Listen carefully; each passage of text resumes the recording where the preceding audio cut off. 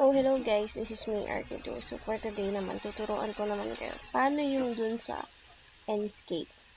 Enscape is mas madali siyang intindihin kaysa sa V-Ray. V-Ray kasi madami pang cheche boreche. So, ang Enscape kasi, once na in-start mo na siya,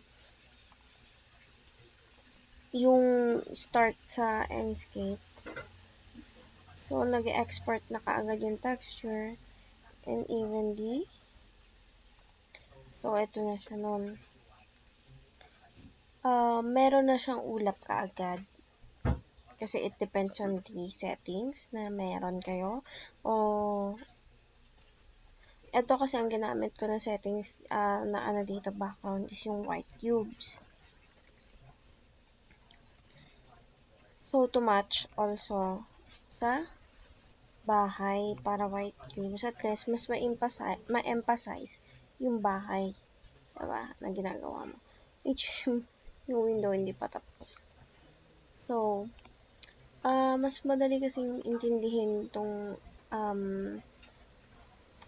uh, late, uh, itong Enscape kasi pwede ka mag-create na rin at the same time ng scene not only here sa SketchUp but you can also create thing in the uh, Enscape. And also, mas madaling intindihin kasi yung pagdating sa mga ilaw, mga spotlights.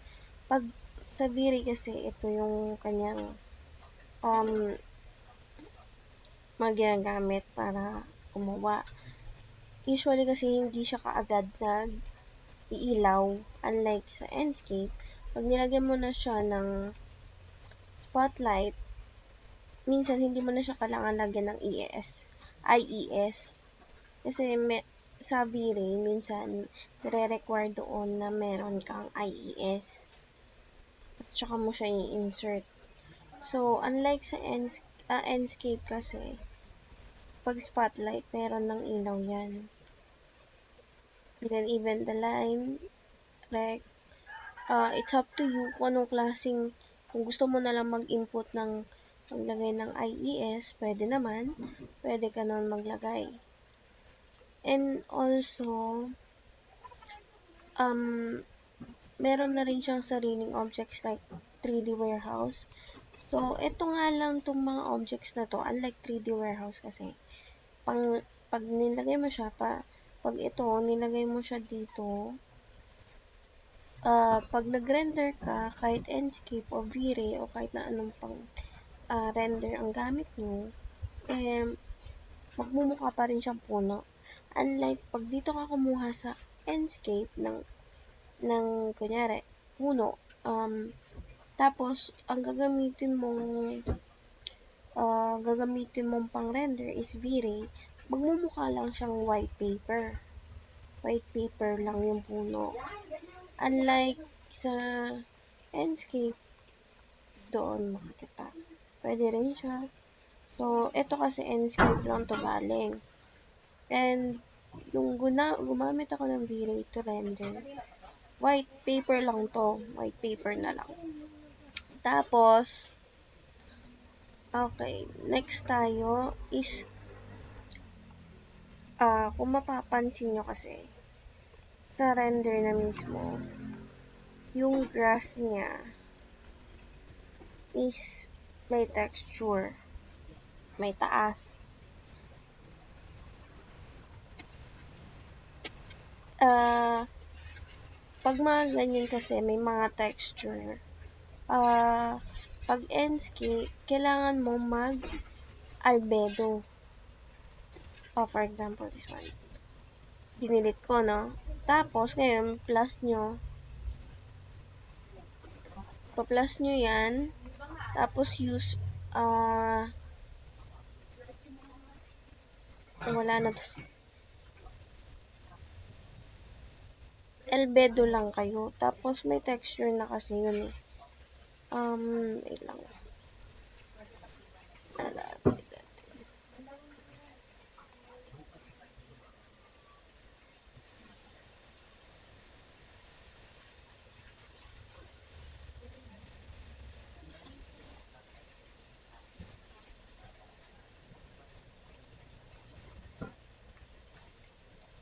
Tong grass.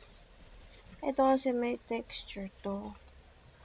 So, usually kasi pag mga ganyan, may albedo yan. Kaso na-delete ko ata. So, ito na lang.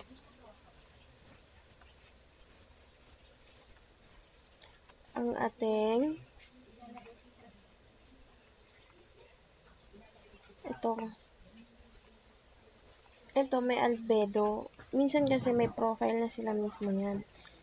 May bump and roughness na. So, ipa-plus-plus nyo na lang siya. Like, bump, ito, and also the roughness. Yan, pag plinas nyo na. Usually kasi, don't need na, hindi na kailangan mag, ano, mag albedo or self-illumination kasi ano naman siya. And next naman, ito naman yung sa rendering na.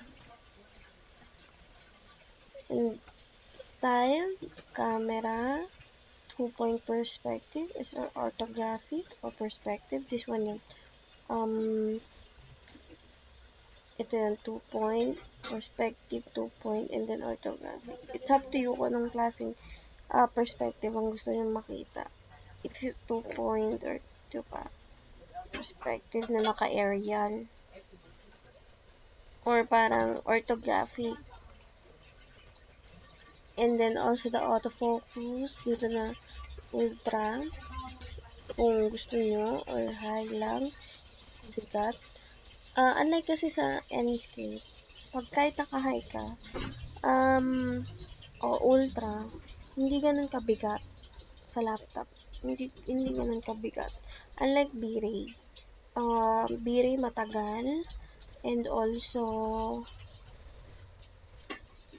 matagal, minsan mabigat, hindi kaya ng ultra, o hindi kaya yung medyo, pag mga laptop mo, eh, mga i5, unless kung sobrang taas ng ibang mga specs. Mm, dito, mga, siguro mga 2 minutes, 1 minute lang. Tapos na yung rendering. Unlike V-Ray kasi umaabot ng ilang minuto o oras pa. Depende. Tapos yung contrast, dito na. Adjust-adjust na lang. Parang picture mo. Ganyan. Then the atmosphere, if you have, if you want fog, intensity, so check natin yung fog na yan.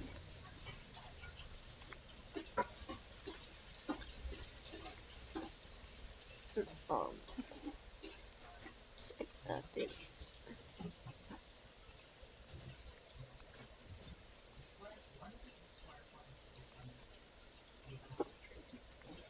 So,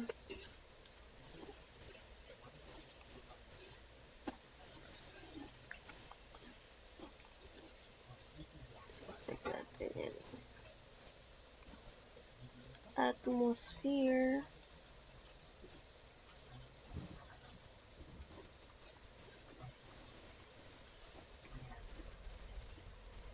Yan, adjust, adjust lang. And also, pati yung ulap, pwede mo siyang i-adjust.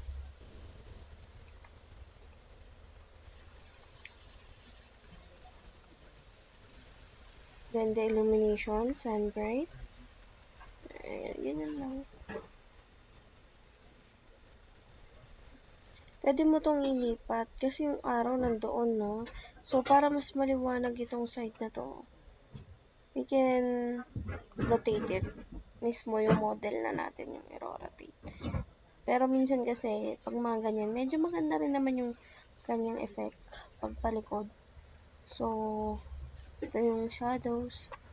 Uh, it's up to you. Night sky brightness. Shadow sharpness, one side. Then artificial light. Unlike kasi sa sun, meron pang artificial. White cubes, forest, want forest, okay. It, yan, forest. Mountain, okay. Eh. Construction site, and and urban, town. So, marami mapagpipilian. White cubes. Yun yung ginagamit ko. And then, white ground. Uh, so, mas maganda yung white cubes. So, parang may meron pang ibang gusali, pero white cube. Usually kasi ginagamit din yun sa ano, sa mga scale model na white cubes na lang, tapos gusto mo lang i-emphasize yung sa'yo. At least hindi maging donor yung building mo, ano. Then, the rotation, so, rotate mo. So, cloud, if it's density or not, andyan yan kung uulan gusto mo. diba? So, dun tayo sa medyo slight lang. Variety. Yan, may ganyan variety yan. Ano bang magbagay? Ser uh, serious amount. Yan. So, ganyan lang. Contrails. Yan. Longitude or latitude. Ganun-ganun lang siya. Just adjust nyo lang kung anong gusto nyo. Then, capture if ultra HD custom HD 1 uh, 1024 window. Then the aspect ratio. Image. Then automatic naming. Kasi ang ginagamit ko, automatic na lang siya. O maximum quality, lossless, Blu-ray. Yan panorama. Magana naman ang Enscape. So, kapag mga bahay naman ginagawa nyo, kahit i-max nyo na yan, okay lang. Basta kakayanin ng laptop nyo. Max na. Magaan lang naman.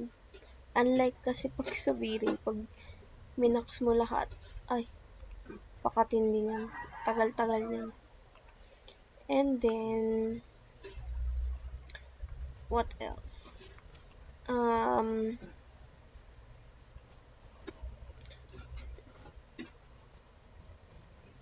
uh, paano mag-render. So, start natin to render.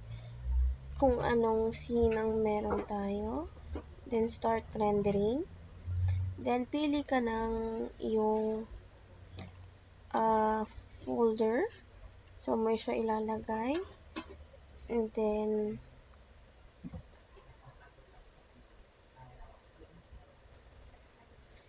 so, tingnan natin yung isang ganyan yung itsura niya ba nagre-render. So, unlike Viri kasi napakatagal. No, ito it takes minutes lang. At least mga 2 minutes, 3 minutes. Ganon pa ba, ganyan. So, na-render na yon So, hanapin natin ngayon si ating um, ating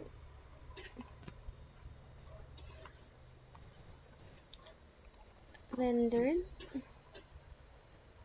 So, ito na siya. Pa, okay, may ibon pa. Diba? Medyo, pwede mo pa naman palapitan yan. Ilapit pa natin.